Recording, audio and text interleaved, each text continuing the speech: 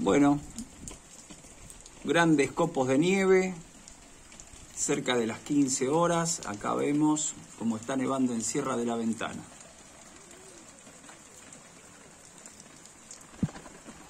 Hermosísimo el paisaje.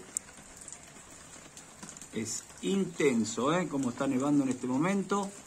Y hacia las 5 de la tarde se espera mucho más todavía.